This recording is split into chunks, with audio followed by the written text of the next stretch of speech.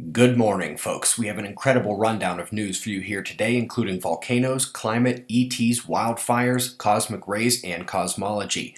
We're getting started with our star over at spaceweathernews.com, finding the last 24 hours were exceptionally calm, enough for our focus to be squarely with the dark coronal holes and thin plasma filament between them.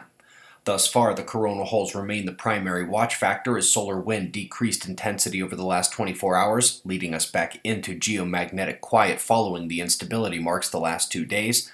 But these coronal holes will start impacting Earth with their solar wind later this week and continue probably into early next week. And of course, elevate the seismic alert when that left side crosses center disk tonight. Now, in that vein, the same region rocked with an earthquake and tsunami a few days ago just had a volcano go off the last few hours large plume rising over the Indonesian islands there. Let's start the science rundown at the galactic level.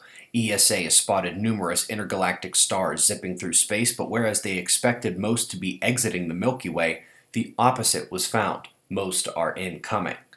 Up next, we're looking at slightly larger extragalactic companions. Four new ultra faint dwarf galaxies are in the neighborhood. This matters for galactic dynamics. For those who have been here long enough to understand the negative effects of cosmic rays, and who know we've hit the modern cosmic ray maximum and are forecast to head higher most of the century, a new direct link to negative gastrointestinal outcomes shows why cosmic rays are still the great barrier in space safety, and possibly a serious issue on Earth this century.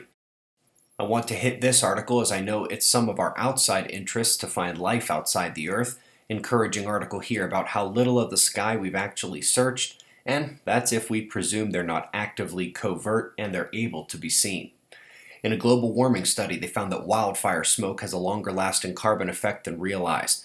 They use this to say that climate models may underestimate warming in the future if they don't take this into account.